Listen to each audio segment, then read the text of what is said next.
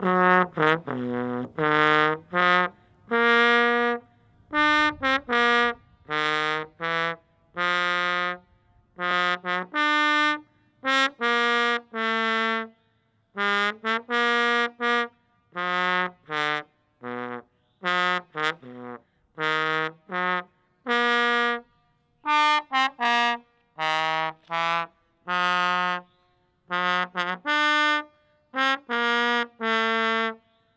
Ha ha ha.